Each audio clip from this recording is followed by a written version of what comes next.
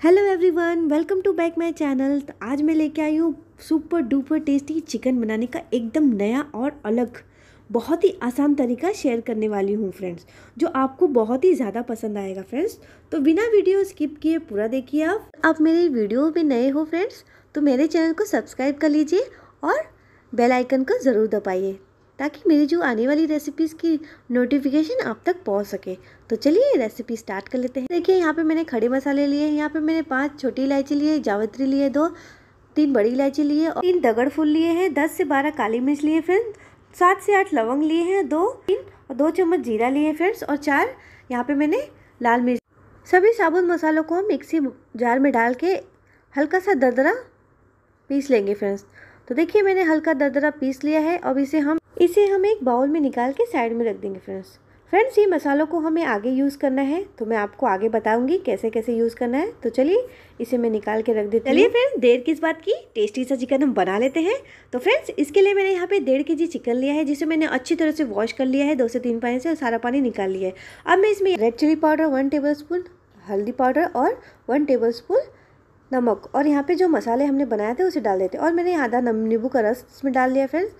आप नींबू का रस डालिए बहुत ही ज़्यादा टेस्टी बनता है फ्रेंड्स तो सभी मसालों को हम अच्छी तरह से मैरिनेट कर लेंगे। साथ ही में थोड़ा सा फ्रेश हरा धनिया डाल देती हूँ फ्रेंड्स तो फ्रेंड्स सभी को डाल के हम अच्छी तरह से ढक देंगे दस से पंद्रह मिनट के लिए। मैंने फ्रेंड्स मैंने गैस पर एक पैन रख लिया है। उसमें मैंने चार से पाँच टेबल स्पून मस्टर्ड ऑयल लिया है।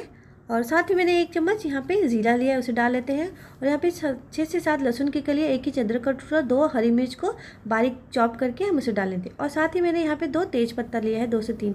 और तेज पत्ता डालने के बाद हमें यहाँ पे करी पत्ता भी डाल लेते हैं।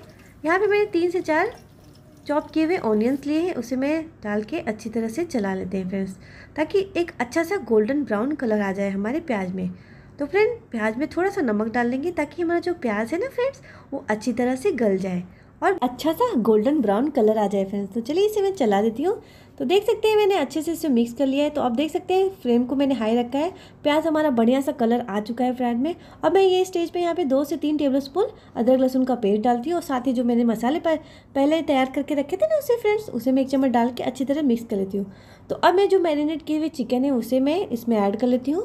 और उनको हमें हाई करके इसे भूनना है फ्रेंड्स तीन से चार मिनट तक हम इसे अच्छी तरह से भूनेंगे। और बढ़िया सा इसमें कलर आ जाएगा, तब हम मसाले डालेंगे फिर। तो मसालों में देख लेते हैं, मैंने यहाँ पे सूखा मसाला जो मैंने पीस के रखा था उसे दो चम्मच ले लेती हूँ। और यहाँ पे दो मैंने प्याज लिया रफली चॉप किए हुए। और आधा चम्मच मैंने कश्मीरी लाल मिर्च दो हरी मिर्च लिया है। तीखा आप अपने हिसाब से कम ज़्यादा कर सकते हैं फ्रेंड्स तो सभी को मैं एक मिक्सी जार में डाल के और यहाँ पर थोड़ा सा हरा धनिया भी डाल लेती हूँ मैं फ्रेंड अच्छा सा पेस्ट बना लेंगे फाइन सा।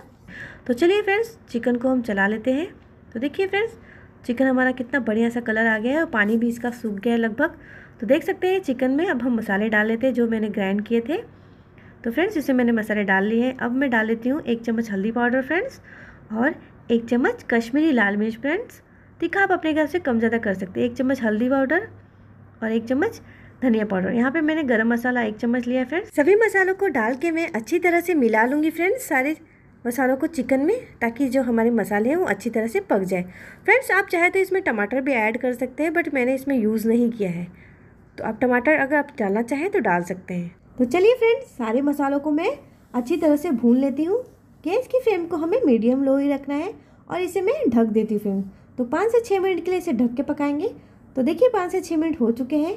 आप देख सकते हैं हमारा चिकन और मसाले बिल्कुल अच्छी तरह से पक गए हैं। तो अब मैं थोड़ा सा इसमें दो कप पानी डाल लेती हूँ फ्रेंड्स पानी डाल के हम अच्छी तरह से इसे मिक्स कर लेंगे। ताकि जो हमारा चिकन है ना वो फ्रेंड्स और अच्छी तरह से पक जाए। और बहुत ही बढ़िया सा टेस्ट आएगा फ्रेंड्स इसमें। आप एक बार बना के देखिए फ्रेंड्स आप एक बार बनाएँगे बार बार ये चिकन बनाएँगे फ्रेंड्स तो फ्रेंड्स इसे अब हम ढक के दो से तीन मिनट के लिए पकाएँगे फ्रेंड्स तो देखिए, दो से तीन मिनट हो चुके हैं, इसमें बॉयल आ चुका है। देख सकते हैं ना फ्रेंड्स कितना टेस्टी लग रहा है हमारा चिकन तो देखिए, कितना टेस्टी बन के तैयार हो गया है। तो फ्रेंड चिकन तो हमारा रेडी है। तो अब हम इसमें डाल लेते हैं थोड़ा सा फ्रेश हरा धनिया। और डाल के हमें गैस की फ्लेम को मीडियम लो कर देना है और डाल के हमें सिर्फ़ दो से तीन मिनट इसे पकाना है फ्रेंड्स, ताकि जो हमारा धनिया का फ्लेवर है ना, वो चिकन में अच्छी तरह से आ जाए। तो चलिए हमें चिकन चेक करके दिखा देते हैं। देखिए चिकन के पीस, चिकन के पीस बहुत ही आसानी से टूट रहे हैं, यानी कि चिकन हमारा बहुत ही अच्छी तरीके से पक चुका है। तो देखिए फ्रेंड्स तो अब हम गैस की फ्लेम को ऑफ़ कर देंगे। तो आप देख सकते हैं चिकन कितना बढ़िया तरी वाला हमारा चिकन बन के तैयार है। तो चलिए चिकन को सर्व कर लेते हैं। तो देखिए, कितना बढ़िया चिकन लग रहा है ना फ्रेंड्स कितना टेस्टी सुपर डुपर टेस्टी है। घर के बेसिक मसालों से बनकर हमारा चिकन करी बिल्कुल तैयार है फ्रेंड्स तो देख सकते हैं कितना सुपर टेस्टी सुपर डिलीशियस बन के हमारा चिकन रेडी हो गया। तो इसे आप रोटी के साथ, चावल के साथ खाइए, बहुत ही ज़्यादा टेस्टी लगता है फ्रेंड्स आप देख सकते हैं कितना टेस्टी है ये लग रहा है। तो फ्रेंड अगर मेरी वीडियो आपको पसंद आए तो लाइक शेयर सब्सक्राइब करना ना भूलिए। मिलते हैं एक और नई रेसिपी के साथ और एक नई वीडियो के साथ। थैंक